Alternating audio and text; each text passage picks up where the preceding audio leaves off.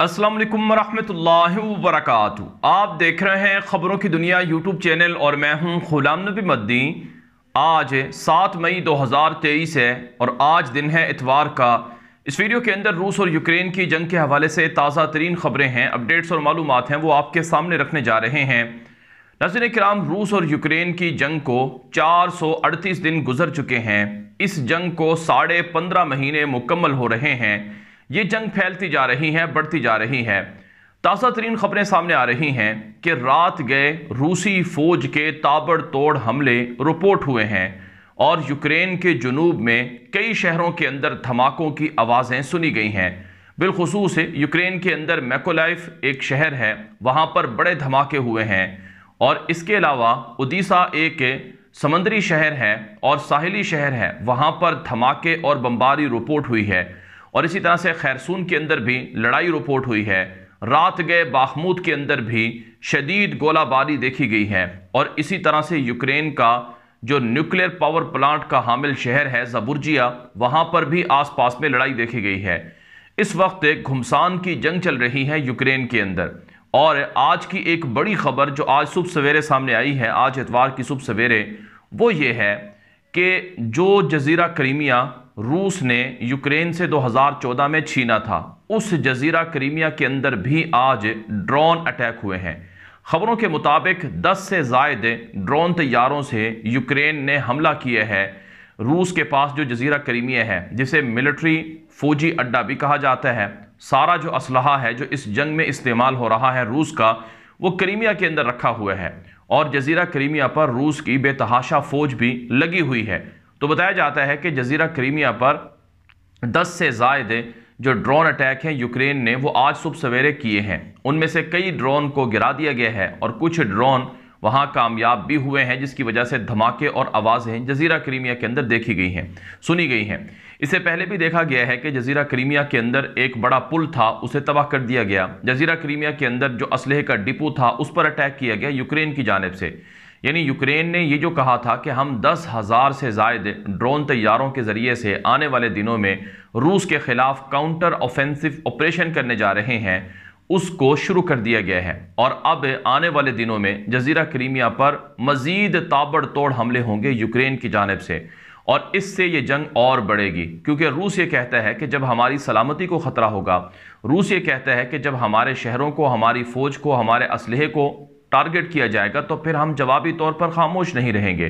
चुनाचे आज की एक बड़ी खबर यह भी है कि रूस की जानब से ख़तरनाक बाहरी जहाज़ों को और ख़तरनाक बाहरी आबदोज़ों को ब्लैक सी के अंदर, बाहर असवद के अंदर भेज दिया गया है, जिनके ऊपर कलीबर के नाम से जो मिज़ाइल हैं, रूस के ताकतवर क्रूज़ मिज़ाइल वो लदे हुए हैं। यानी कल भी जो खबर सामने आई थी कि रूस ने हाइपरसोनिक मिज़ाइल का इस्तेमाल किया है, जिसे किंजल कहा जाता है। और बाकायदा इंटरनेशनल मीडिया पर यूक्रेन की सेलिब्रेशन को रिपोर्ट किया गया है कि यूक्रेन ने जश्न मनाया है कि हमने रूस के किंजल मिज़ाइल को मार गिराया है। और इसी तरह से अब रूस ने जो कलीबर मिज़ाइल हैं, उनका इस्तेमाल करने का फैसला किया है। और आने वाले दिनों में इनमें कन्वेंशनल और इसी तरह से warhead nuclear warheads का भी इस्तेमाल हो सकता है। तो इस वजह से बताया जा रहा है कि ये जंग फैलती जा रही है, बढ़ती जा रही है। एक तरफ़ से यूक्रेन को अमरीका, यूरोप और मगरबी ताकतों की जानब से खूब असलाह दिया जा रहा है तो दूसरी तरफ़ वो असलाह इस्तेमाल भी हो रहा है और फिर इसका जवाब रूस भी दे रहा है। तो ये जंग बढ़ने की और फैलने की अलामत है। अब तक मजमू तौर पर इस जंग के अंदर कोई 12 लाख के करीब लोग मारे जा चुके हैं, जिसमें रूस के फौजी भी हैं, जिनकी तादाद दो लाख से जायद है, और रूस के वो इलाके जो रूस ने यूक्रेन से छीने हैं, उनमें मरने वाले आम शहरी भी हैं। और इसी तरह से यूक्रेन की साढ़े तीन लाख से ज़्यादा फ़ौज है और आम शहरी हैं जो इस जंग के अंदर मारे गए हैं। मजमू तौर पर बारह लाख जो लोग मरे हैं, इनमें ज़ख्मी होने वालों की तादाद भी शामिल है और गिरफ़्तार होने वालों की और लापता होने वालों की भी शामिल है। तो गर्ज ये है कि ये जंग फैलती जा रही है, बढ़ती जा रही है और ये जंग ख़त्म होने का नाम नहीं ले रही है। बल्कि आज की एक बड़ी खबर ये भी है कि रूस ने यूक्रेन को सबक सिखाने के लिए इस जंग के अंदर गोरेला मुजाहिदीन को उतार दिए है। जी हाँ नाजवीन कराम, खबर यह है कि रूस ने यूक्रेन की जंग में गोरेला मुजाहिदीन को उतारा है और ये जो गोरेला मुजाहिदीन है, ये आने वाले दिनों में यूक्रेन के छक्के छुड़ाएँगे और यूक्रेन का खात्मा करेंगे, यानी यूक्रेन की फ़ौजों से इलाके छीनेंगे। इस वाले से मेरे सामने बाकायदा एक वीडियो भी मौजूद है जो इन गुरेला मुजाहिदीन की इन मुजाहिदीन के जंगजुओं पर मुश्तमिल है। मामला ये है कि बाखमूत, ये वो इंतहाई अहम स्ट्रेटजिक शहर है, जिस पर पिछले सात, आठ महीनों से लड़ाई चल रही है। बाखमूद के अंदर जो रूस का किराए का ग्रुप है वैगनर, वो पिछले कई महीनों से लड़ाई कर रहा था। लेकिन दो दिन पहले जो वैगनर ग्रुप के सरबराह हैं, यवगिनी उनका नाम है, उन्होंने कहा कि हम बाखमूद को छोड़ रहे हैं, हम यहाँ से पीछे हट रहे हैं और क्योंकि हमें असलाह नहीं मिल रहा है, रूसी फ़ौज और रूसी डिफेंस, जो मिनिस्ट्री ऑफ़ डिफेंस है, वो हमें एम्यूनिशन नहीं दे रही है, लिहाजा हम पीछे हट रहे हैं। तो उसके बाद जो चचनिया का जिहादी दस्ता है, जिसे एक गुरेला कमांडो दस्ता कहा जाता है, उस पर रमज़ान कदरोफ ने कहा कि अगर वैगनर ग्रुप बाखमूद की बाखमूद को छोड़ेगा तो फिर हम उसकी जगह लेंगे और हमारा इस सिलसिले में उनसे रबता हो गया है। तो अब चेचनिया के रमज़ान कदरोफ की फ़ौज का जो गुरेला कमांडो दस्ता है, वो अब इस जंग में उतार दिया गया है। बताया जा रहा है कि इस हवाले से जो इस जो चचनिया के जंगजुओं का ये जो दस्ता है, इसके अंदर देखा जा सकता है कि सफ़ेद दाढ़ी वाले जंगजू भी हैं, जो कई कई जंगें लड़ चुके हैं और कई कई सालों से वो बड़े जंगी तजर्बात रखते हैं। और इसी तरह से इसके अंदर नौजवान कमांडोज भी हैं। चचनिया के लोगों को आमतौर पर कहा जाता है कि ये बड़े ये जफाकश लोग होते हैं, बड़े बहादुर लोग होते हैं। और ये जब कोई मार्का सर अंजाम देते हैं तो उस मार्के में ये हमेशा कामयाब रहते हैं। और जब ये इनकी वीडियो सामने आई है तो इसमें देखा जा सकता है कि ये अल्लाह अकबर के नारे भी लगा रहे हैं। और ये ये कहते हैं कि हम ये रूस के लिए नहीं लड़ रहे हैं, हम ये अपने लिए लड़ रहे हैं। चचनिया ये दावा करता है कि जो यूक्रेन के फौजी हैं, ये कुरान पाक की तोहन करते हैं। और ये मस्जिदों के ऊपर हमला करते हैं और यूक्रेन की जो ईसाई फ़ौजें हैं, ये माजी के अंदर चचनिया पर हमले करती रही हैं और चचनिया की ख़वातीन की आबरू रेजियाँ करती रही हैं और ये चचनिया के लिए बड़ा ख़तरा है। लिहाजा रूस के साथ तो हमारा इतिहाद है। हमारे इतिहादी से हमें कोई ख़तरा नहीं है, लेकिन यूक्रेन से हमें ख़तरा है। इस वजह से हम ये जंग लड़ रहे हैं। ये चचनिया के लोगों का दावा है। तो बुनियादी तौर पर तीन अलग अलग फ़ौजें रूस की इस जंग में उतरी हुई हैं। एक रूस की मिलिट्री है जो इस जंग को लीड कर रही हैं और जो इस जंग में लड़ाई कर रही है, जिसके अंदर तकरीबन मजमू तौर पर पाँच लाख से ज़्यादा जो जंगजू हैं या मिलिट्री के जो फ़ौजी हैं, वो इस जंग में इन्वॉल्व हैं। दूसरा जो ग्रोह है, वो है नाजिन कराम वैगनर ग्रुप का।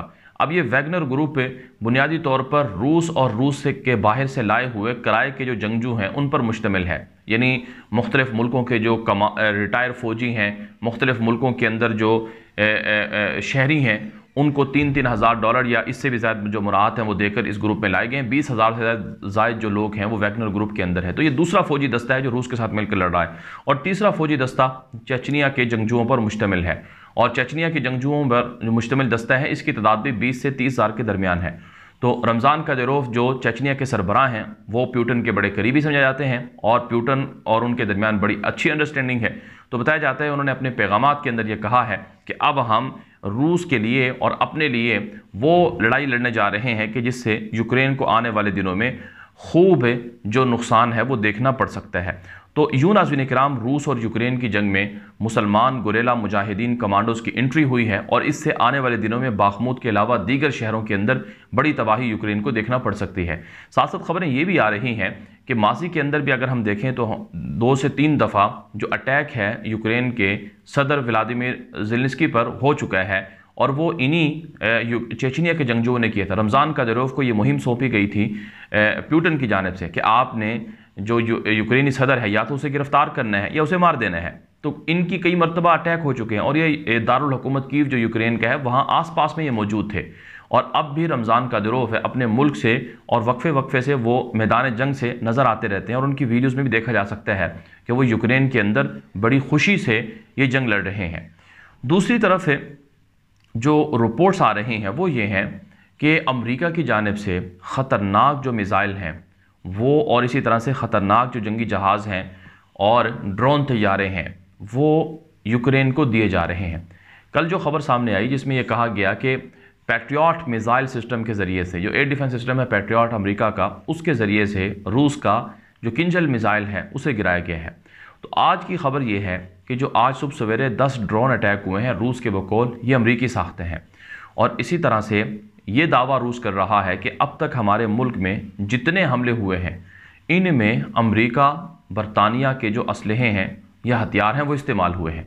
और जो टैंक हैं, वो भी नेटो के इस्तेमाल हुए। अब लिपट जो टैंक है लिपट टू टैंक जो हैं, वो इस जंग में इस्तेमाल हो रहे हैं। और आज की एक बड़ी खबर यह है कि बरतानिया ने यह कहा है कि हम लॉन्ग रेंज के हामिल जो मिज़ाइल हैं बैलिस्टिक मिज़ाइल या लॉन्ग रेंज हामिल जो मिज़ाइल हैं, वो हम यूक्रेन को ख़रीद कर देंगे।